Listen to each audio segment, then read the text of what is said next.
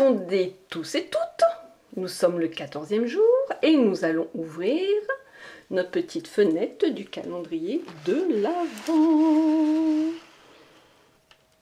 Et le 14e jour se trouve là.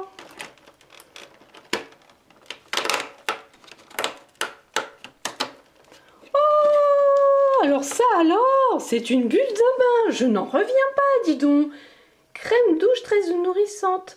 Ah bah là non, c'est pas les bulles de bain habituelles, vous savez, c'est la crème de douche de chez Sephora qui se trouve euh, en gros contenant que j'avais déjà testé.